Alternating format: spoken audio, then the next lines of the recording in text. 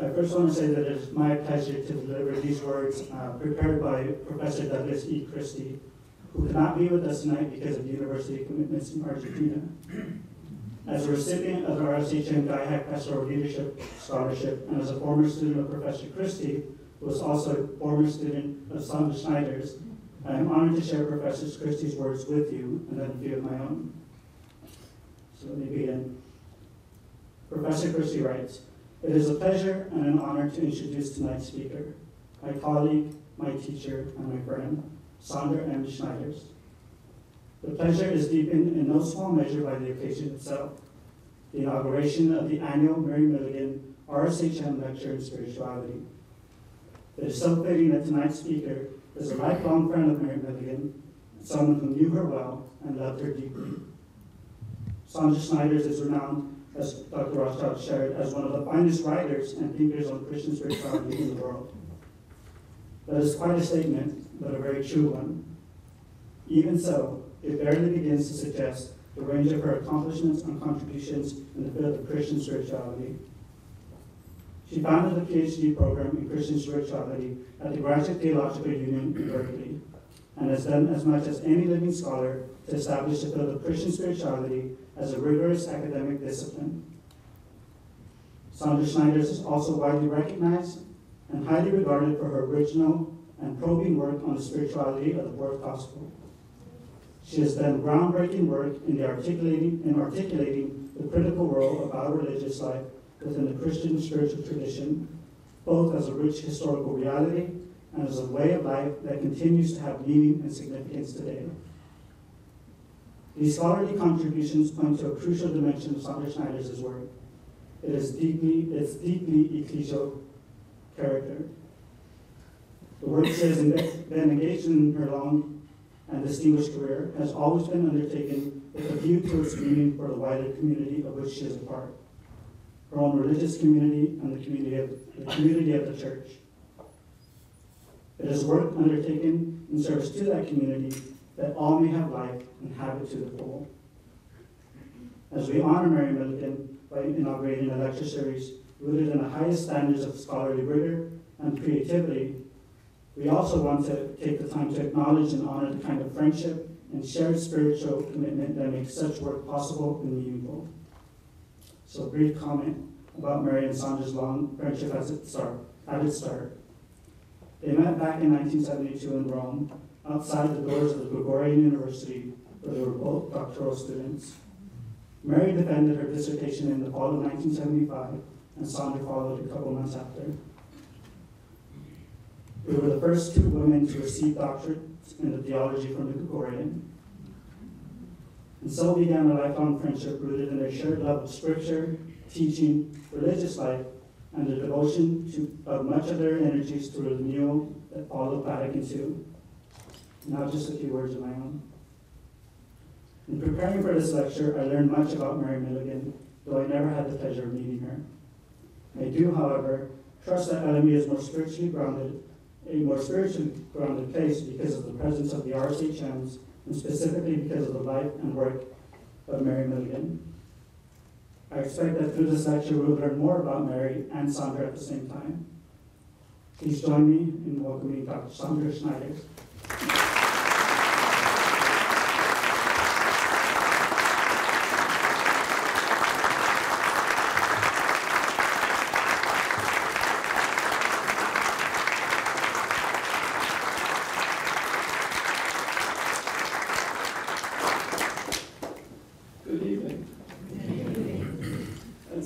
Italian, as Francis did a few weeks ago. Buonasera. I'd like uh, to begin by thanking Donna Gray and the staff of University Relations who are responsible for uh, the, the logistics of this event. And to thank Ter- uh, Teresia Room and Elias Wandu, uh, who are responsible for the very beautiful production of the uh, book that contains the lecture, which you'll see afterwards, and which is the cover, which is up here. I'd like to thank also uh, Michael uh, and Jonathan Rothschild and the staff of Theological Studies.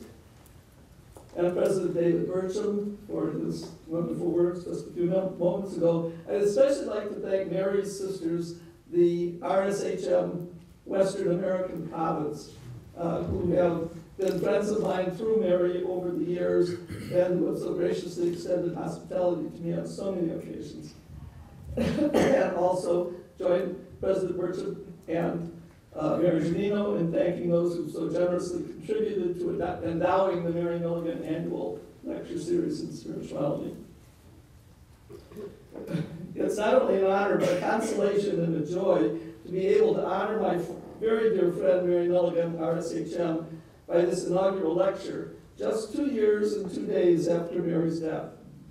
And it gives me special joy that this celebration of Mary's life occurs during Easter week. On the very day, we read in the liturgy the remarkable story of two grief-stricken disciples who have just lost their dearest friend, Jesus. It is the risen Jesus himself who initiates them and through them us into the experience that Mary now enjoys in all its fullness. I entitled this lecture with, two, with a twofold question, which my experience in ministry tells me is very much alive in many believing and practicing Christians who sincerely profess every week in the Creed their faith in the bodily resurrection of Jesus, but who draw an imaginative blank when they try to put modern, scientifically credible flesh on these theological bones. In what follows, I hope to offer some resources for reflecting on the problem of Christian, for Christian faith, of the imaginative implausibility of bodily resurrection. The first question, did the resurrection of Jesus really happen, is about the fact. If nothing happened on Easter, that's the end of the story. However, if what we confess is something that did happen, our very lives pivot around that happening and unfolding its significance, that is, what it means for the church and for believers, is crucial. It probably will not destroy the suspense for you if I, to know in advance that I'm going to answer yes to the question. Something happened. but but in, order, in order to unfold the significance of that, we have to inquire specifically into what happened and how what happened is available to us. But all this is only necessary scaffolding for what we're really interested in, namely why it matters. That is how the resurrection transforms our life as believers. This lecture is going to be a little longer than most, and partly because I'm not simply going to tell you information, but I'm going to be inviting you to rethink the resurrection for yourself. And it takes longer to think than just to listen. the question, what happened on Easter, is really a way of asking, what does it mean to say that Christ is risen? Does it mean that he is immortal, a spirit alive with God somewhere outside earthly time and place? Or did something unique that has happened to no one else yet, except to Jesus' mother Mary, happen to Jesus on the first Easter? And if so, what was it? And why is this unique event significant for us? So I'm going to invite you to think through these questions with me in a somewhat new way from what we're used to in some catechetical presentations or even theological studies of the resurrection.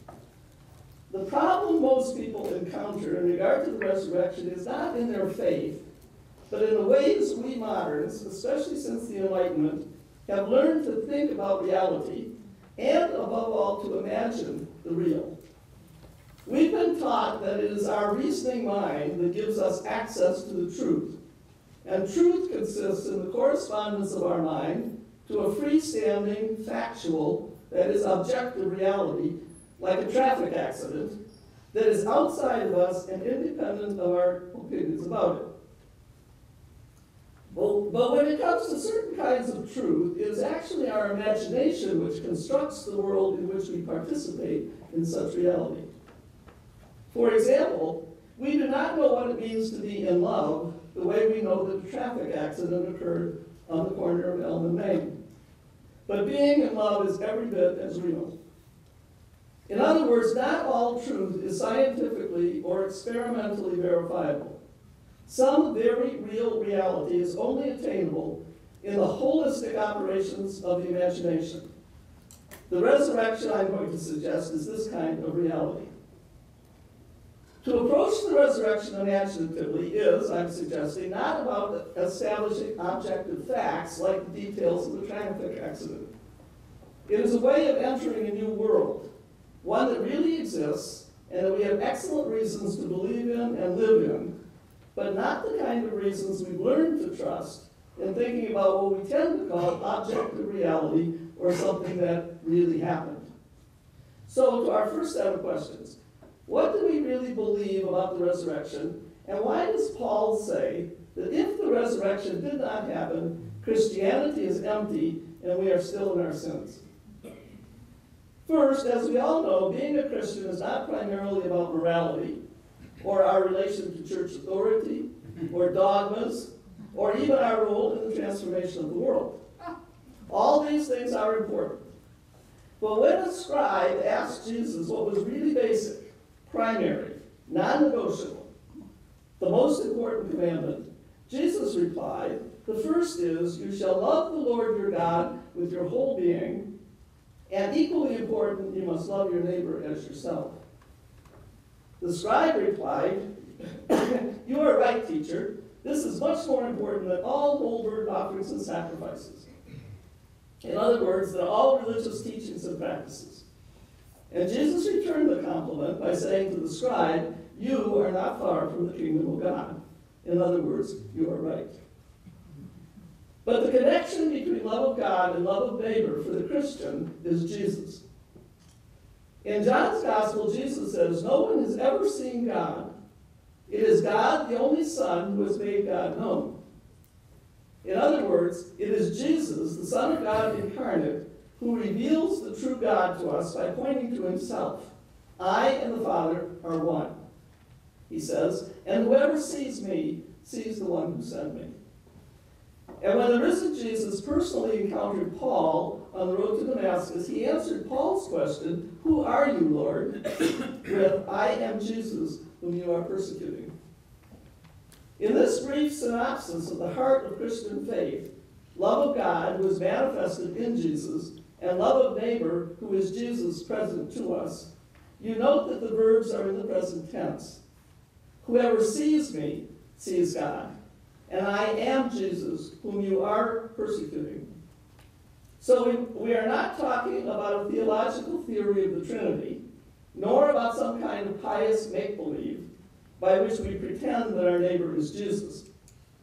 The Christian is one who, here and now, sees Jesus and relates to God and to his or her neighbor in Jesus. This Jesus, who is the center of our life, is not simply the Christ. Christ or Messiah is not Jesus' last name. It is Jesus' job description, a title denoting his role in salvation history. Well, when we say Jesus, we are talking about a first century Palestinian Jew who was the son of Mary and Joseph of Nazareth.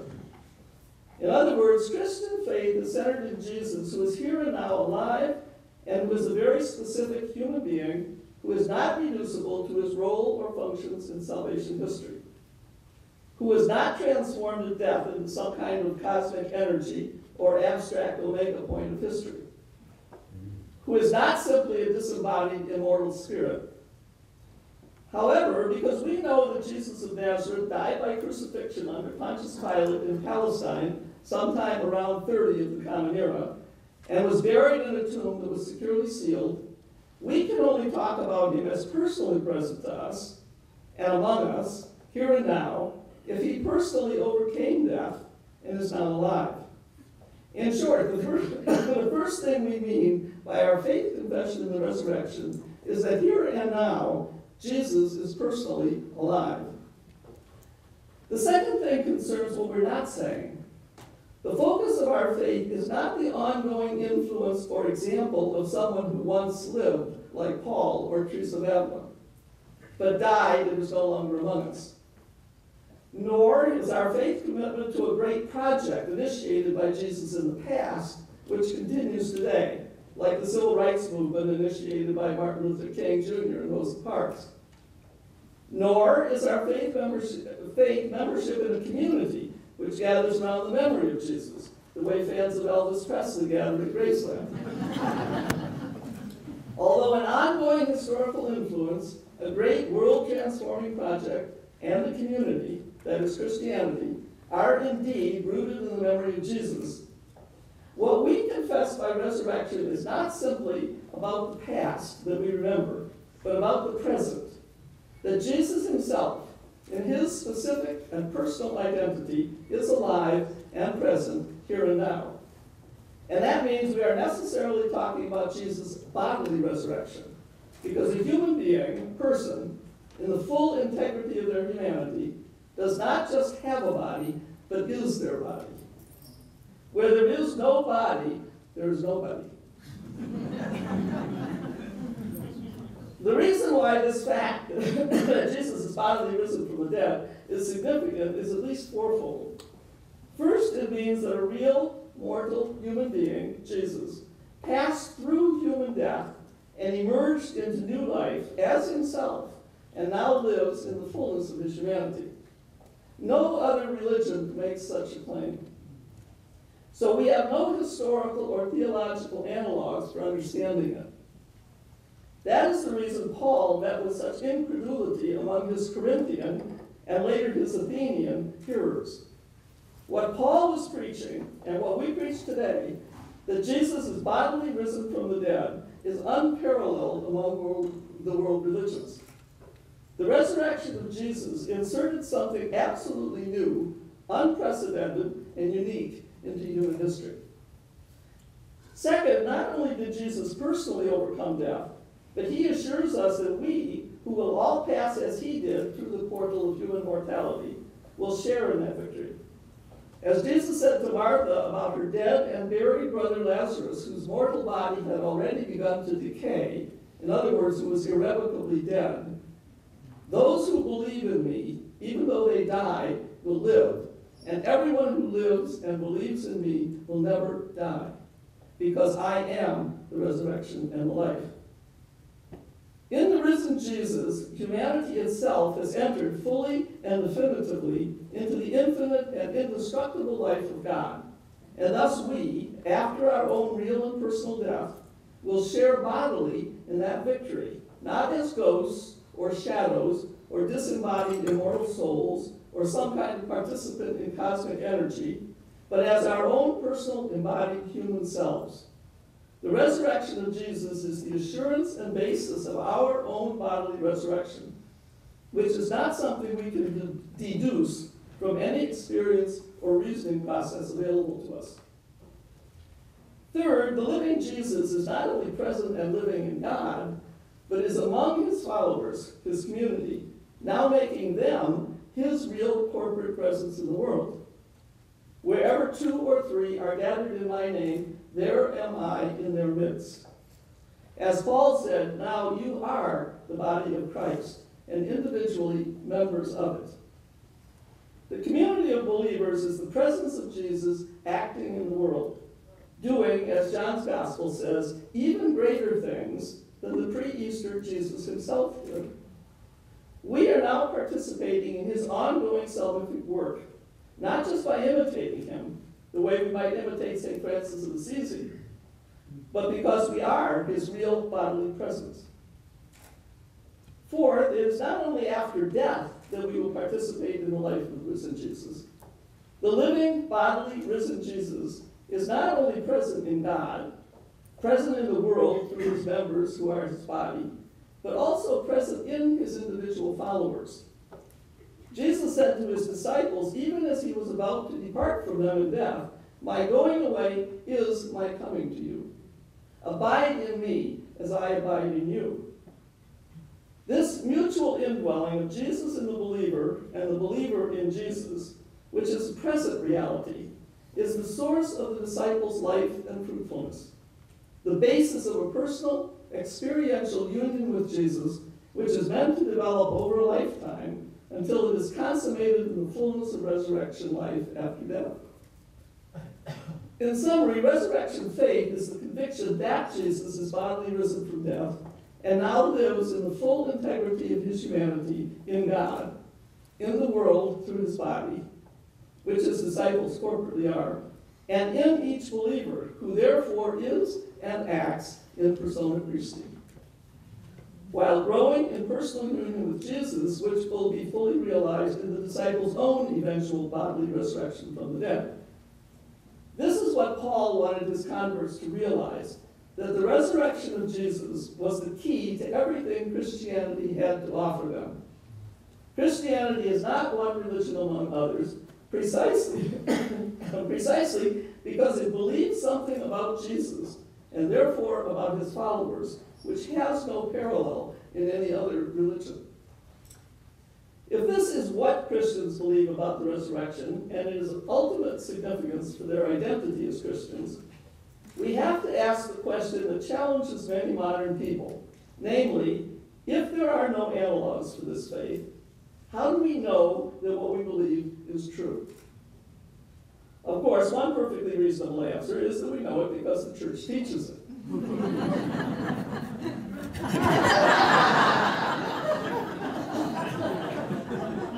the real question is not about whether it makes sense to accept what we're told by trustworthy authority, but how this faith, which claims that something actually happened, namely that someone who was dead came to life, can be warranted as objectively true in a world that reasonably raises scientific and historical questions about claims that seem to fly in the face of human experience, and which non Christians of goodwill seem to get along quite well without.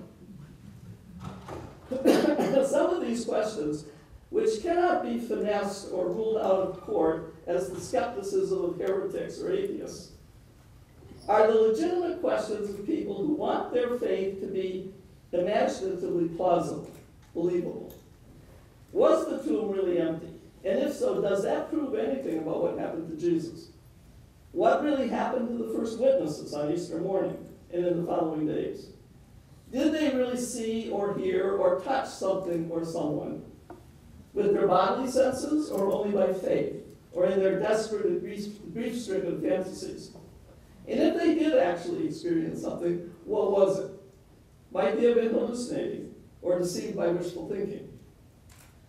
I want to begin by subverting some assumptions that set us up for thinking in ways that necessarily rule out the kind of understanding of the resurrection that I've just claimed is central to our faith.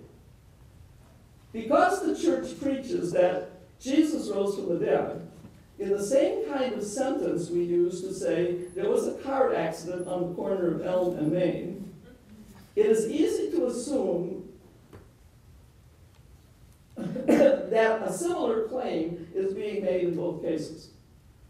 That we are talking about an historical, publicly available event caused by observable or ascertainable factors like someone running a red light or the brakes failing and there are several reasons to call into question this assumption about what it means to say that something really happened. Our sources of knowledge about the resurrection are twofold. The oldest are proclamations of the fact and meaning of the resurrection, like Paul's account in 1 Corinthians 15. For I handed on to you as of first importance what I in turn had received that Christ died for our sins in accordance with the Scriptures and that he was buried, and that he was raised on the third day in accordance with the scriptures, and that he appeared to Cephas and then to the twelve. And then he appeared to more than 500 brothers and sisters at one time. Followed by Paul's conclusion If Christ has not been raised, your faith is futile, and you are still in your sins. Similar proclamations are made in the apostolic sermons in the Acts of the Apostles. For example, Peter's proclamation this man, handed over to you, according to the definite plan and foreknowledge of God, you crucified and killed. But God raised him up, having freed him from death, because it was impossible for him to be held in death's power. Much later, we have the narratives of the Easter events from the end of each of the Gospels, such as the stories of the empty tomb and Jesus' appearance to Mary Magdalene, to the disciples on the way to Emmaus, in the upper room, and so on. Most people think the proclamations were the short form of the narratives, summaries of the narratives. which themselves, the narratives, are factual accounts of the resurrection event. But actually, it's the other way around. The resurrection narratives are the long forms of the proclamations. The narratives were written later than the proclamations and are not historical narratives like the accounts of the crucifixion. In other words, whatever they are, the appearance narratives are not like traffic reports. They are a different kind of literature, and we need to attend to how they can, should, and do function in our faith in the resurrection. Because the resurrection narratives are stories, and they follow the stories that recount the public life of Jesus, we naturally read them as the final chapter in Jesus' historical life. After his mysterious conception, miraculous birth, and nearly unmentioned youth in Nazareth, that's chapter 1, birth, Jesus undertook a, a, public, a short public life of preaching, teaching, and working miracles, in which he became a threat to the Roman political authorities who ruled Pal- Palestine to the Jewish religious hierarchy. That's chapter 2, public life. These two power systems colluded to arrest him, condemn him to death, and execute him by crucifixion. That's chapter 3. His disciples buried him before the beginning of Sabbath. Chapter 4. Then he rose from the dead and appeared to his disciples. Chapter 5. Actually, the resurrection is not chapter 5 at all. The resurrection narratives are a completely different kind of literature or different genre from the accounts of chapters 2, 3, and 4. The public life, passion and death and burial are intended to recount the historical life of Jesus of Nazareth, as it could have been and was observed by anyone, believer or not, who was present for the events that took place. The Gospels are, of course, suffused with profound theological reflection on and interpretation of the significance of these events. But the events themselves are basically historical. They took place in time and space and according to the laws of cause and effect. We even have some reference to some of these events from secular literature outside the Christian scriptures. But the resurrection narratives are more like the infancy narratives which are not chapter 1 any more than the resurrection is chapter 5. Both the beginning and the end of Jesus' life make mysterious connections between Jesus and God that are recounted as if they were historical in the normal sense of the word, when in fact they are not. The infancy narratives, which we have only in Matthew and Luke, and are not our concern here, but I mention them for purposes of comparison, they are written in a genre somewhat like what scholars call midrash. We might say that the infancy narratives of Matthew and Luke, which are history-like stories, are to the mystery of the incarnation, or the becoming human of the Son of God, what the history-like Easter narratives are to the mystery of the resurrection, or the raising to life of the dead Jesus. Both the incarnation and the resurrection in themselves are what some scholars have called trans-historical events. Underlying the infancy narratives is an historical fact that Jesus was born. Without that historical fact, there would be no story to tell. But the tapestry of angelic announcements and prophetic dreams, a star guiding magi from the east bearing symbolic gifts, and so on, may have some historical fringes details or elements which can be verified historically, like the census of Caesar Augustus. But the point of the narratives is not to recount history, but to tell the reader, primarily by Old Testament allusions, who Jesus of Nazareth really is, namely the Son of God incarnate, which is not something you can see. Unlike the historical event of Jesus' human birth, the incarnation itself, that is, God becoming human in Jesus, is a divine mystery, a trans-historical reality available only to faith. And like the incarnation, the resurrection is a trans-historical reality. At its heart is the event that Jesus, who really died on the cross, is experienced as alive in and among his disciples in an entirely new way. Without this experience, there would be no story to tell once Jesus was dead and buried. But the resurrection narratives in which this reality is carried are not stories like those of Jesus' public life and passion. Like the infancy narratives, the Easter narratives are about something that is the object not of physical observation, but of faith, but which is woven into history in such a way that there are history like details and historical fringes, like the conversations between the women and the male disciples on their return from the tomb, which give us access to what we believe, namely that the crucified Jesus is alive. This question of genre or literary form is so important because we read texts in terms of what kind, that is, what genre of text we think they are. If we are reading a novel, we do not expect historical facts. But if we think a text is meant to be history, we expect it to be, in some sense, factual. So if we think the resurrection narratives are chapter 5 of an historical biography of the earthly Jesus, we expect the resurrection narratives to be historical in the sense of telling us basically what really happened in time and space that would have been observable by anyone present at the site of the occurrence, the way our traffic accident could be seen by anyone who was on the corner of Elm and Main when it happened. Beginning basically with the Renaissance, the study of texts that were presumed to be historical began to be what we now call historical critical investigation. And by the late 19th century, there was a fairly general consensus that historical critical methodology was the most appropriate, and many people thought the only modern and credible way to study the Bible. Historical critical methodology, until quite recently, presupposed that everything written about the past, unless it was clearly poetry or fiction, was historical. Now, studying historical events begins with finding out what really happened. And the way to do that is by looking at the physical and other types of evidence, questioning eyewitnesses, reading their accounts, comparing seemingly conflicting accounts, and so on. Not surprisingly, since we have four sets of history-like narratives about the resurrection, which do not seem to agree very well with one another, there has been an enormous amount of scholarly historical work done on resurrection narratives. The project is complicated by the fact that these narratives are about events that have no parallels in our experience. Appearances of someone alive who had died and was buried. So scholars tackled the questions such as, was Jesus really buried? Did anyone know where Jesus' tomb was? Were there angels there on Easter morning? One or two? Inside or outside? Standing or sitting?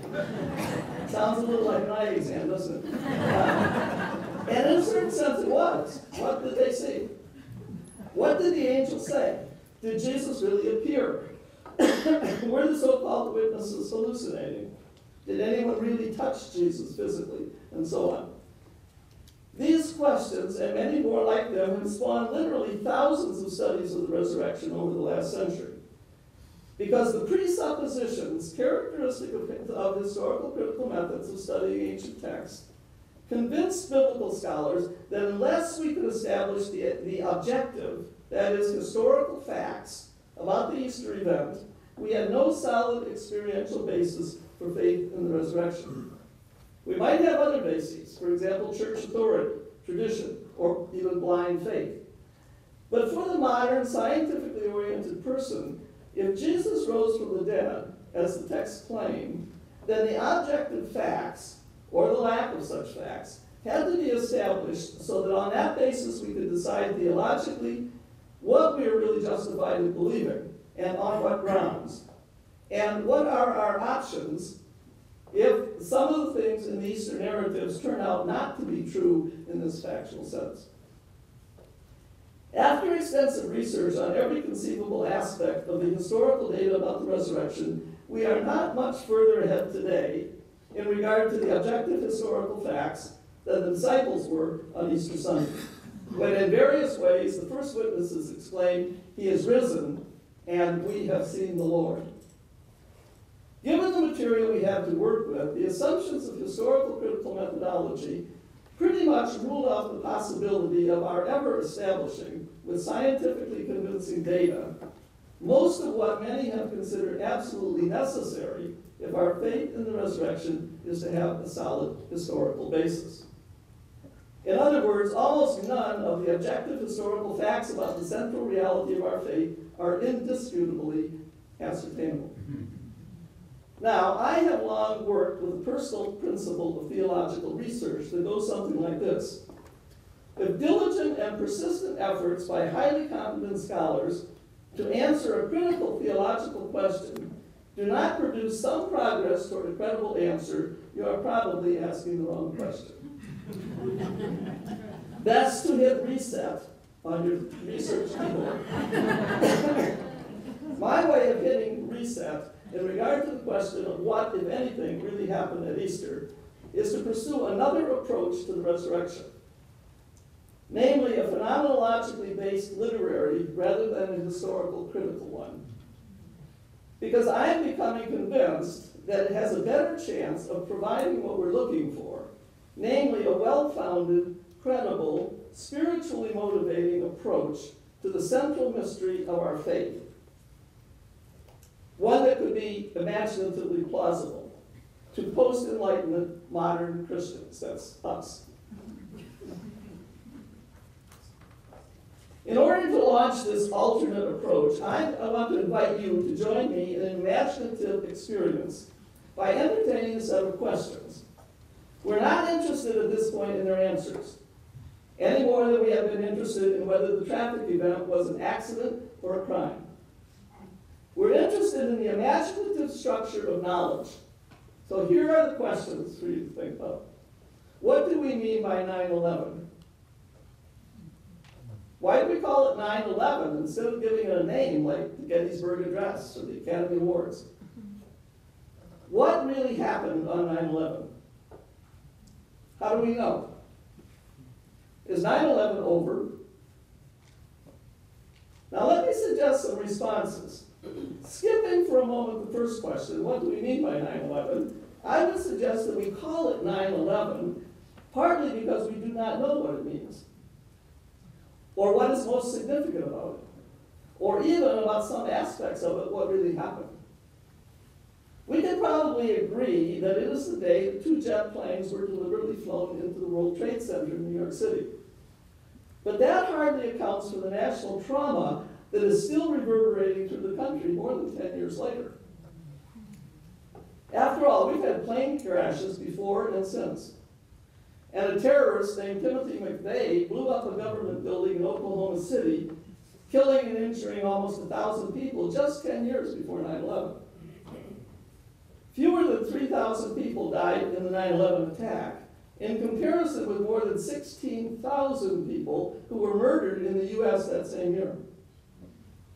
In other words, it's not a plane crash, terrorism, the number of violent deaths alone, or even all of them together that accounts for the traumatic effect of 9 11. Furthermore, there are conflicting stories about what really went on inside the building that morning. Many of the eyewitnesses or participant stories conflict or are impossible to jive with each other.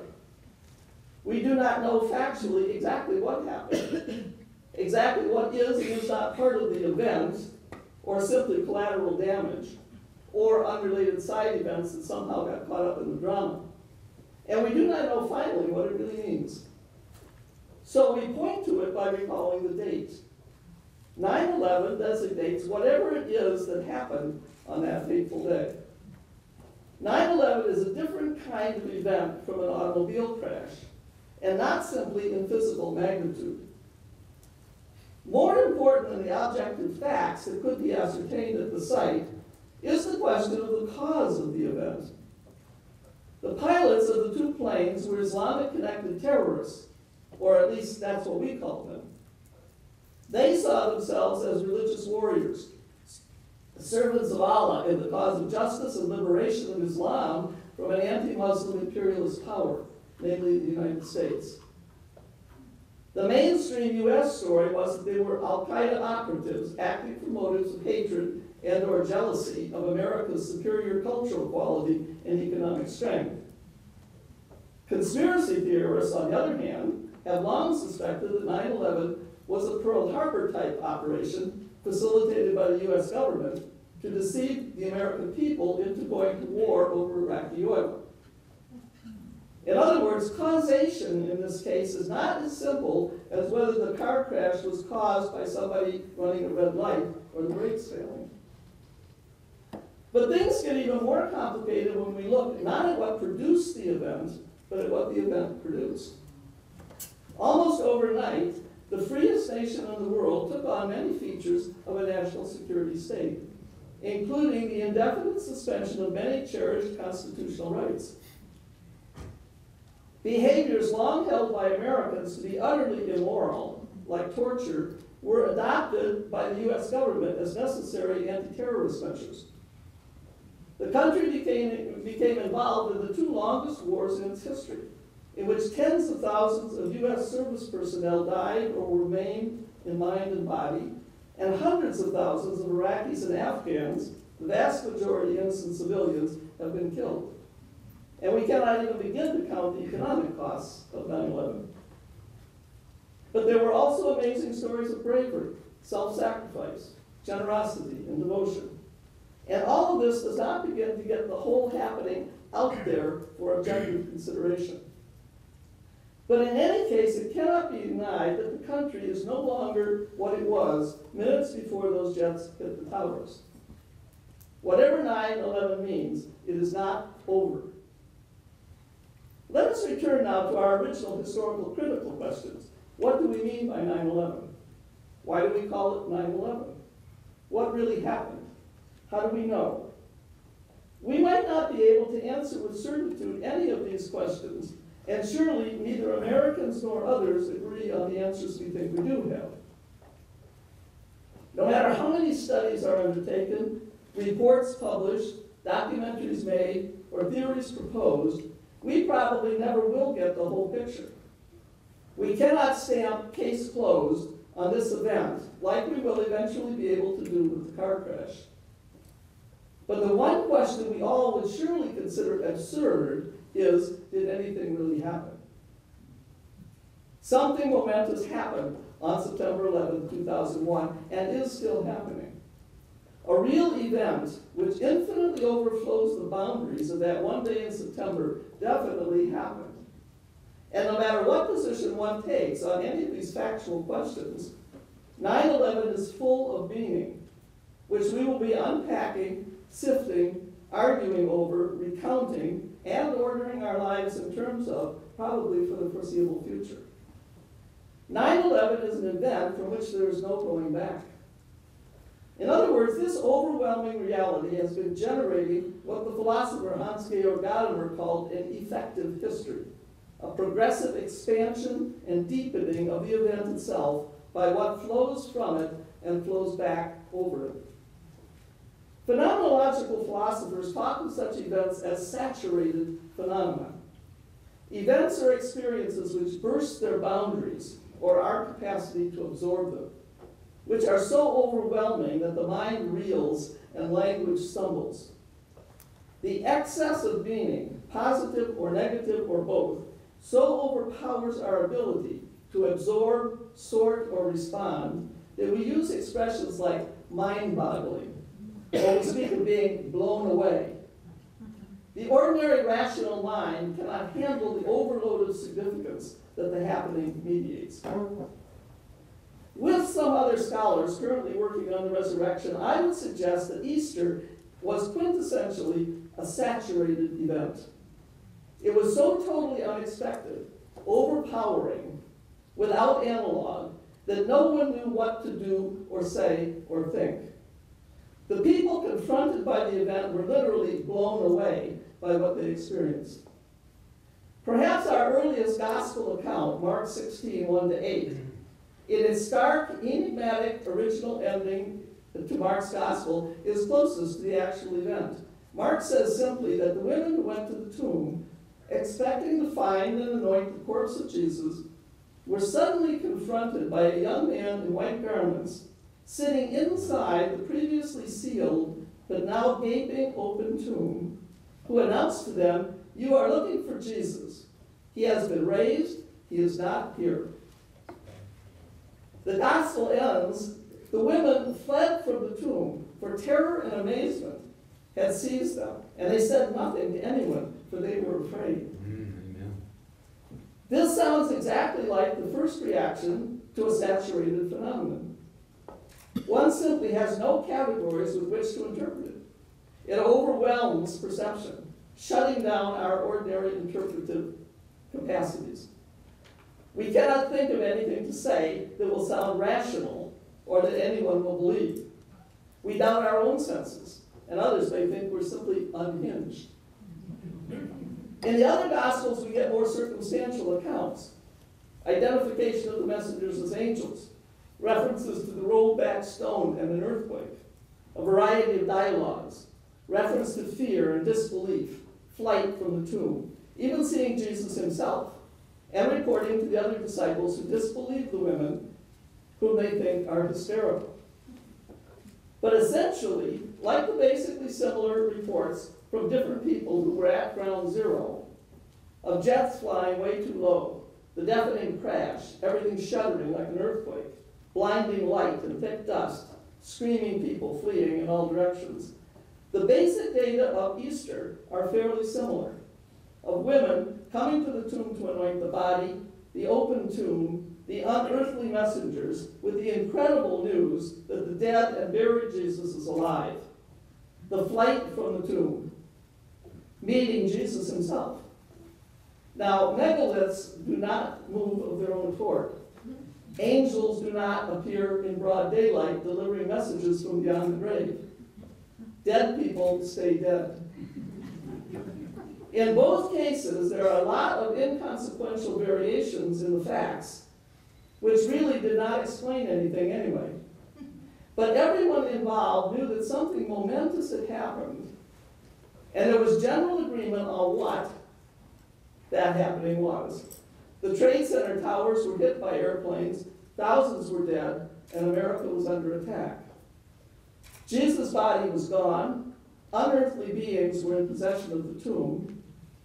He was declared risen from the dead, and he was even seen by some people. At Easter, as in the aftermath of 9 11, the bare facts never changed much after the first reports. What did begin to develop in both cases were highly circumstantial vignettes of personal experience. A first responder racing from the scene with a baby in his arms. A tender farewell message left on a cell phone. A dazed man coated in white dust and carrying a briefcase as if there were something like business as usual to be resumed a, a service dog leading his blind master out of the ruined building. People wrote stories, essays, poems, music. They painted pictures, catching, as it were, through a crack in the enormity of the event, the immensity of what had happened.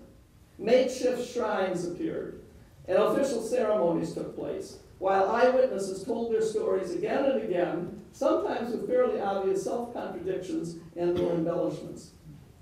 Art, both popular and professional, which embodies the universal in the particular, and ritual, which channels and shapes chaotic feeling, were much more suited to capturing the stupendous reality of 9 11 than newspaper accounts or analytical articles or official reports.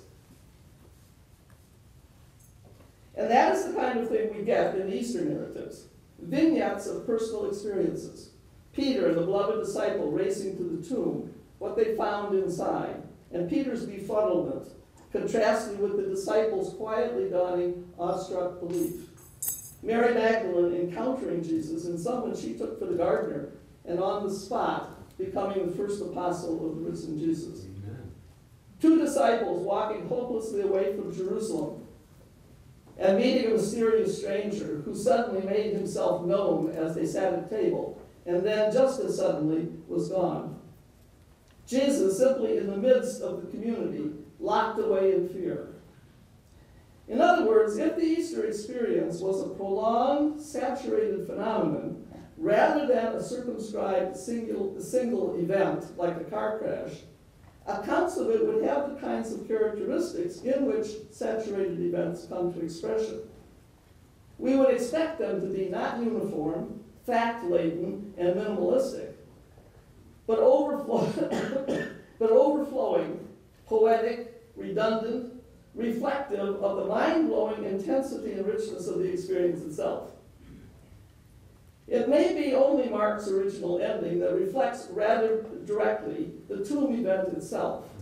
Like the footage of the actual impact of the planes that was played over and over and over again, and really told the viewers practically nothing about the mind-boggling event that had occurred.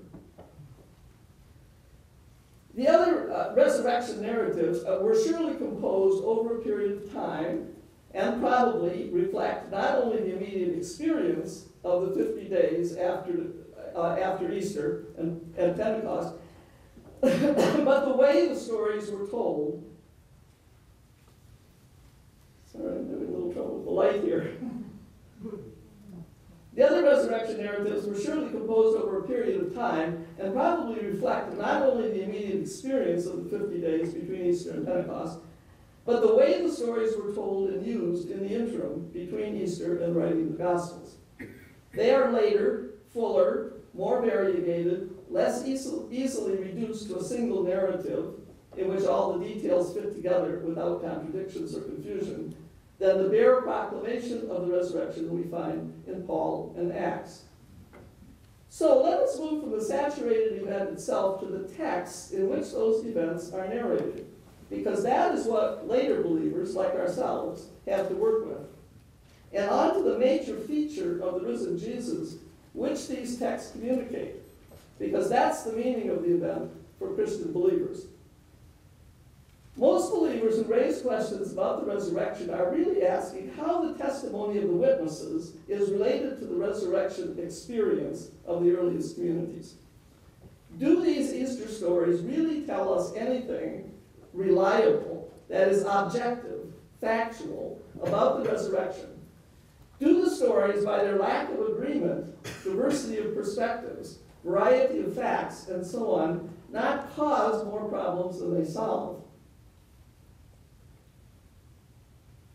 For two reasons, I would say no. First, the accounts themselves, even in or because of their diversity, are actually a warrant of credibility about the witnesses. Second, and even more importantly, the resurrection narratives are the primary resource for our faith in the bodiliness of the resurrection, which carries the meaning, the supreme significance for our faith. Without stopping to discuss all the evidence, I can report that there's a fairly wide scholarly consensus about what the textual material affirms regarding the tomb and the appearances. And that consensus is the more reassuring precisely because the circumstantial diversity in the narratives themselves highlights their substantial consensus. First, the tomb was empty on Easter morning. This does not say what that meant or how it happened. But if the body of Jesus had been available, the authorities, both political and re religious, who had a high stake in nipping the Christian movement in the bud, could easily have done so by producing Jesus' corpse, or at least his remains. We have no record that the authorities ever credibly disputed the disciples' claim that the tomb was empty. Second, in regard, in regard to the appearances, there are several interesting facts about the narrative witness to the resurrection, which suggest that the witness itself is credible, that is, it's trustworthy. First, none of those to whom Jesus appeared are presented as expecting, hoping for, or seeking an appearance any more than the people going to work on 9 11 expected an attack on the World Trade Center. In each appearance, the, the recipient was in deep sorrow and despair over Jesus' obviously irreversible fate, his death.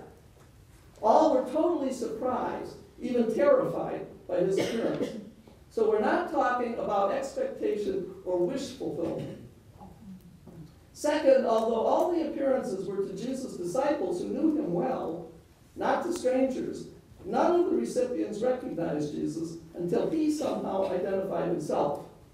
So the witnesses were not inventing the appearances nor hallucinating. Third, none of the appearances duplicates any other. Although there are similar details that show up in one account or another, such as the wounds in Jesus' hands, each appearance is unique in time, place, circumstance, content, etc.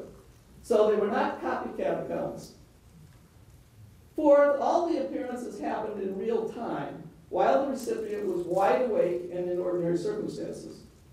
None are presented as visions, dreams, ecstasies, out of body experiences, bereavement encounters, and so on.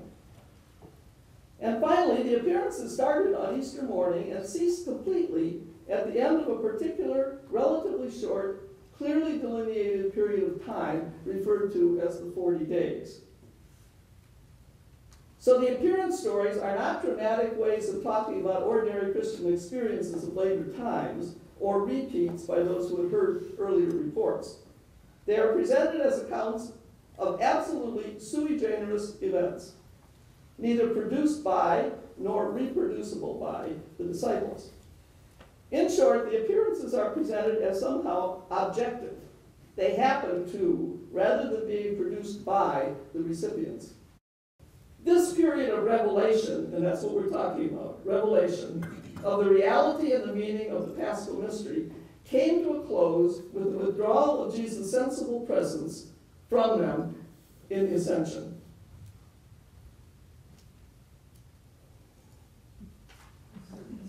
I'm getting a revelation in my eyes. the episodes are record, uh, recorded are not quasi-police reports. They are mini dramas, short stories, poetic discourses, or verbal paintings, relative, uh, reflective of the reality of what happened to the participants during this relatively short period, which empowered them to make available to the whole world the life, death, and resurrection of Jesus. During this foundational period, which we might call the paschal event, this saturated event of Jesus' bodily return to his disciples, Jesus was visibly present to them, teaching them, opening their spiritual eyes to really see what they had seen physically in his public life, passion, and death, opening their ears to hear what Jesus had said to them, and the scriptures illuminate and confirm, supporting them in their fears, feeding them, correcting them, forgiving them, empowering them, sending them. He was there day after day.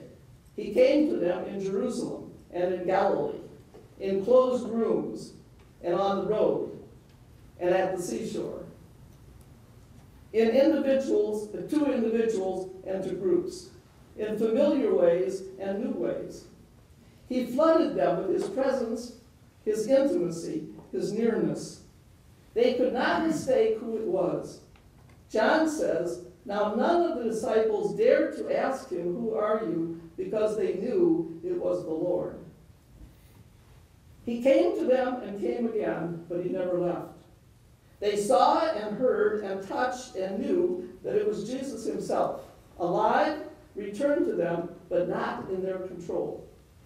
They needed to learn by experience what his new presence felt like, how to recognize it, what it meant for them, how to communicate it to others.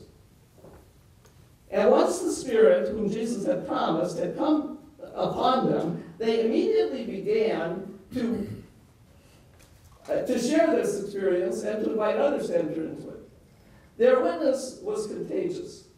Immediately, according to Acts, thousands heard, mysteriously understanding the meaning, even when the speaker's language was not their own. And they asked, What should we do? How can we participate in this event?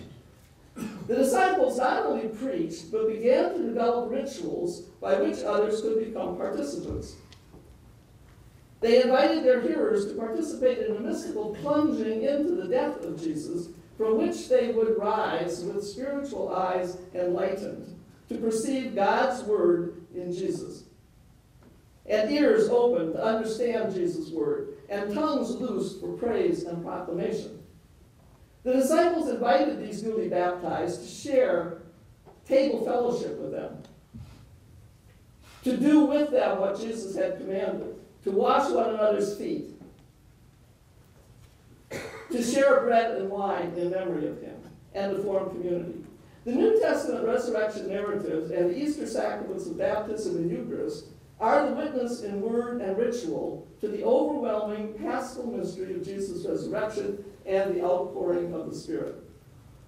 A striking feature of participation in the saturated event of the Paschal mystery was its totally egalitarian inclusivity.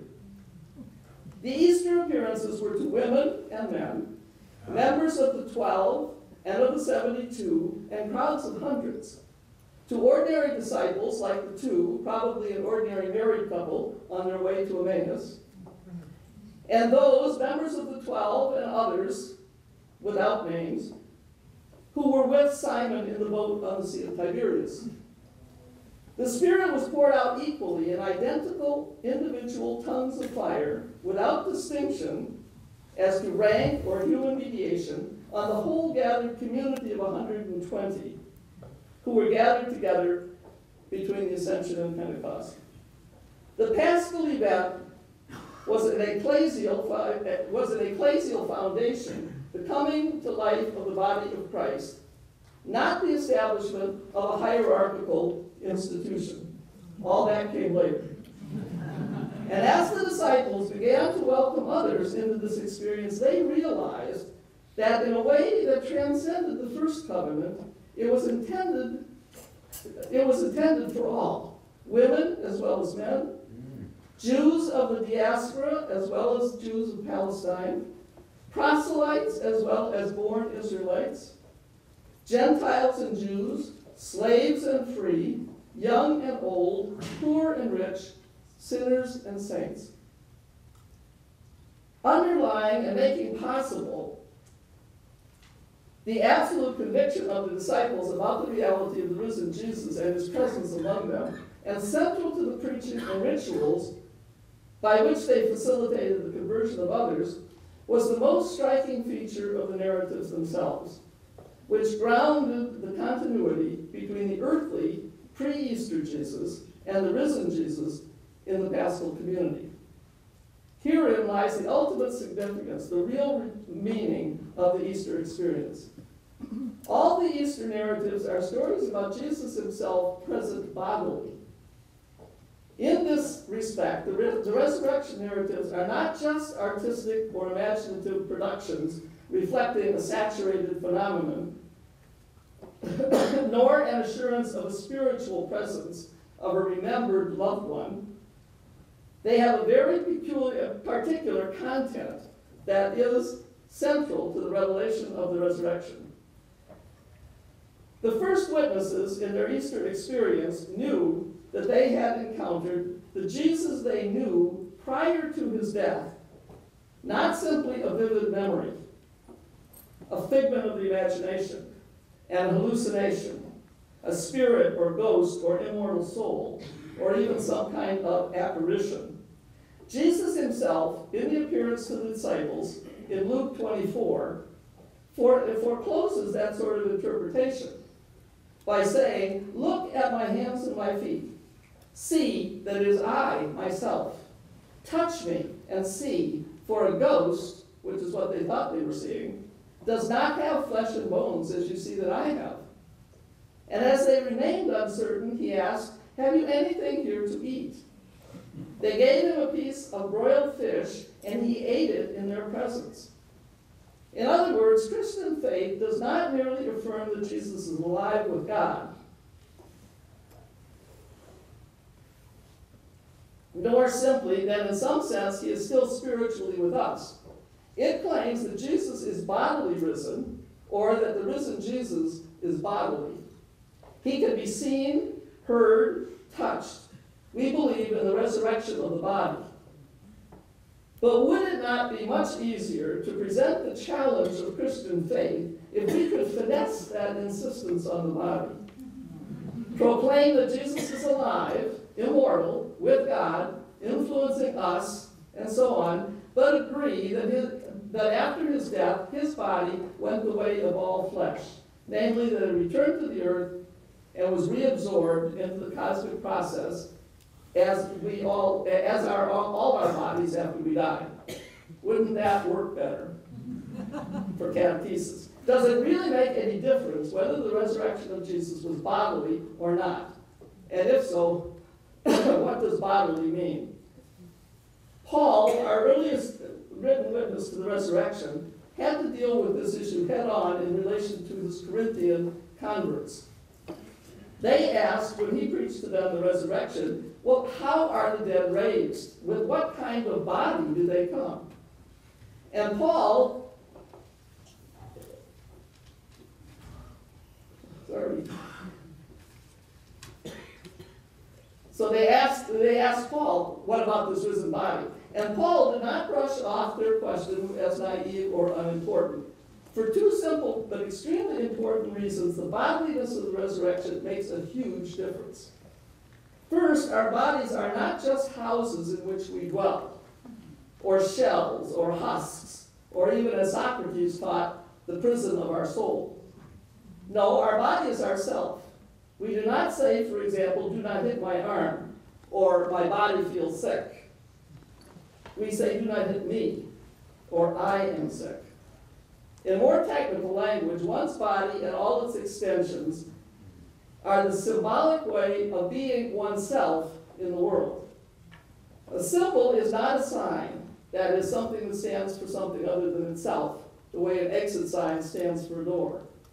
A real symbol is a way of being present of something that cannot otherwise be present.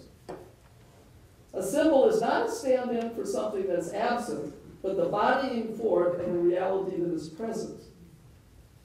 That is the very reason why, in the Judeo Christian tradition, God is the utterly transcendent, could only reveal God's self to people, to Israel, through actions, through history, through persons, and so on.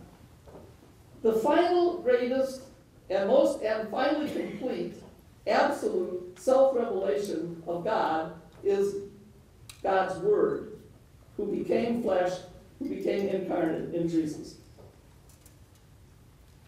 Jesus is bodily a human. And being bodily and being human are equivalent. Jesus is the great symbol of God, not a representative of God, but God's very self. If in death Jesus had ceased to be his bodily self, he would not simply have laid aside a temporary vestment that he had taken on or a container of some sort. He would have ceased to be a human being. That is, to be himself, Jesus, the one in whom our humanity participates in God's life, and God's life is given to us. In other words, if Jesus had ceased to be a bodily human being, what we call the incarnation, God's becoming one of us, that we might become one with God, would have ceased. The incarnation would have come to an end. Bodiliness is intrinsic to Jesus' integral humanity.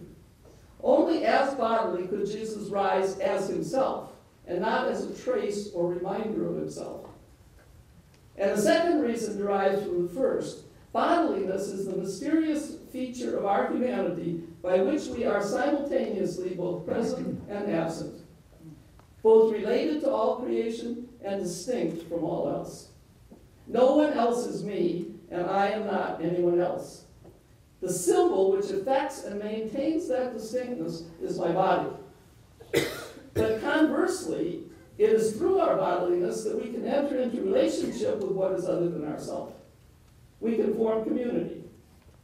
Our experience of the death of a loved one is precisely that presence is overwhelmed by absence in the moment when the body ceases to mediate the person, ceases to symbolically body forth the, the person in this context. We no longer call the fleshly trace in the coffin a body, but a corpse, which is the symbolic presence of an absence.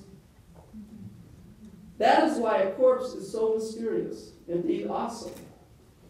In death, the body is trans-symbolized, so that what had made the person present now makes the person absent. Jesus' body is no less important, significant, symbolic for him than ours is for us.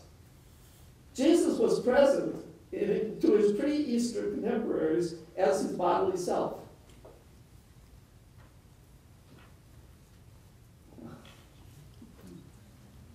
He was rendering God symbolically present to them. The church has always claimed that Jesus' death was not a charade, a piece of theater. He really died. His bodiliness, which made him symbolically, that is really present to his contemporaries, became a corpse, which made his absence symbolically, that is really present, present to those who buried him. Jesus was gone as completely and truly as is any person who dies, and his body, now become a corpse, was the symbolic expression of that transformation from life to death, from presence to absence. Therefore, if Jesus, after his death, is truly to return alive to his own, to be really humanly present in and among them, he can only do so through his bodily resurrection. But, and this is supremely important, Jesus does not come back to life.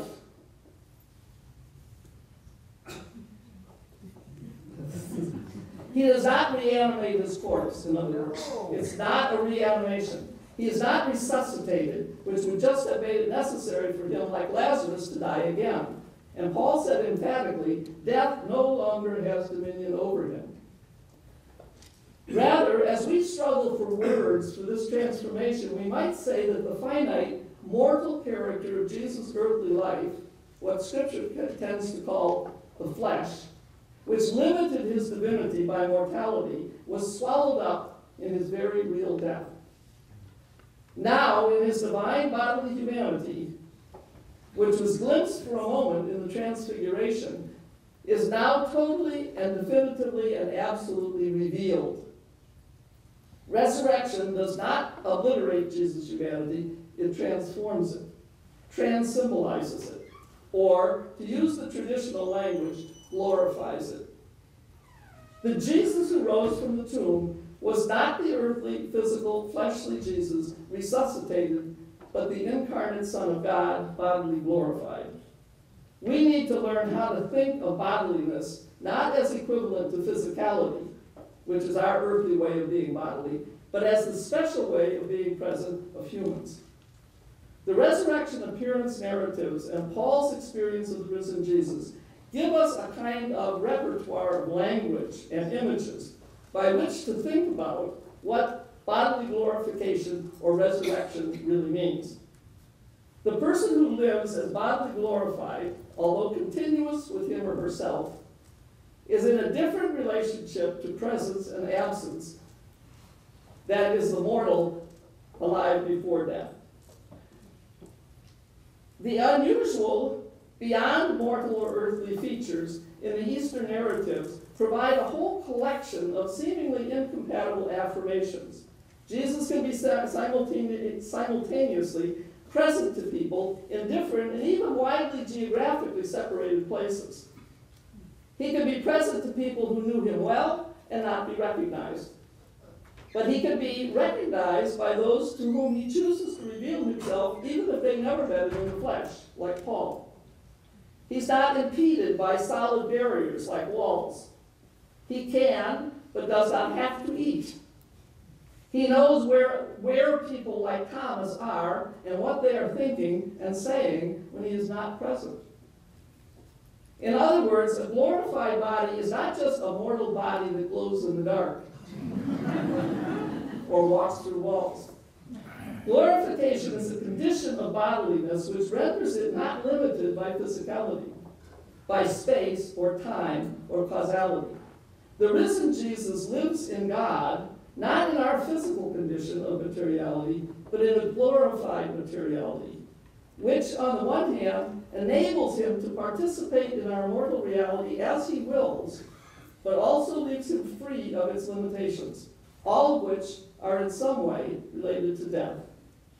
Thus, the early church captured the meaning of the bodily resurrection of Jesus by saying not only that he was alive, but that death no longer had dominion over him. This is not something we can easily fathom or imagine.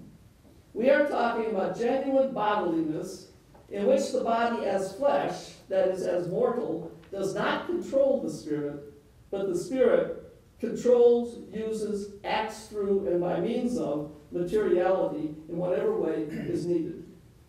Glorification means no longer subject to death, nor anything which leads to death, results from death, or expresses death. Glorification is not the eradication of the body, which is the way of being a living human person. It is the end of subjection to death. What the bodily resurrection means for us is that Jesus himself is alive yesterday, today, and the same forever.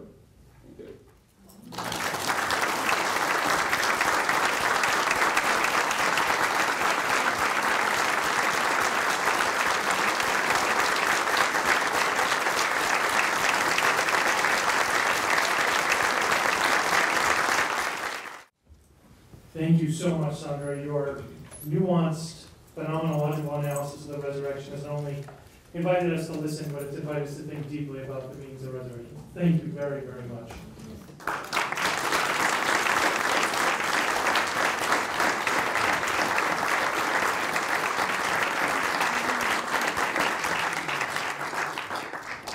We will now bid farewell to our satellites and remote location. Uh, Thank you very much for joining us.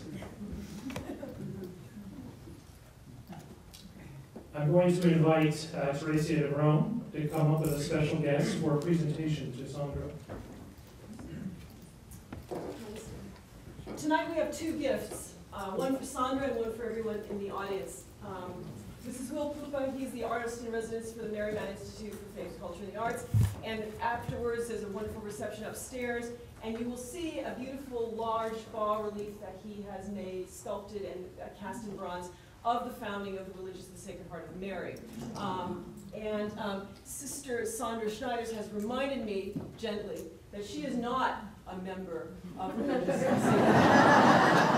Some of her best friends are. And uh, tonight, we're giving her a replica of the piece that uh, Will has done upstairs. And I think really tonight, she has redefined for all of us in her palimpsestic reading of the resurrection, what it means that all may have life